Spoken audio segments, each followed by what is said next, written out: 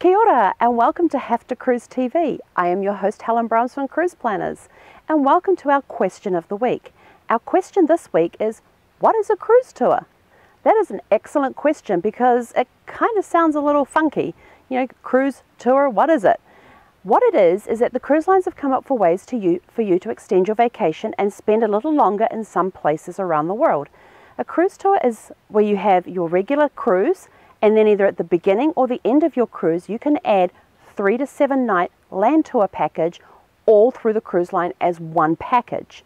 Like for example, say you're in, going to Alaska and you're doing a northbound cruise leaving from Vancouver and you're heading up to Anchorage and you'll be either docking in Seward or in Whittier, depending which cruise line you're with.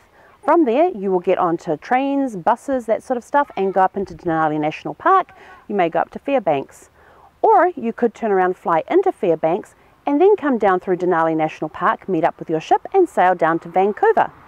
You can also do these cruise tours not only in Alaska, but Europe, Asia, Australia, New Zealand, and even here in the United States as well. We have cruise tours as well. So that is what a cruise tour is a land tour hooked up with your cruise, one package. And that is our question of the week. If you have a question about cruising that you would like to ask us, then please send it on in. And you never know, your question could become our next question of the week. Have a great week. He konera.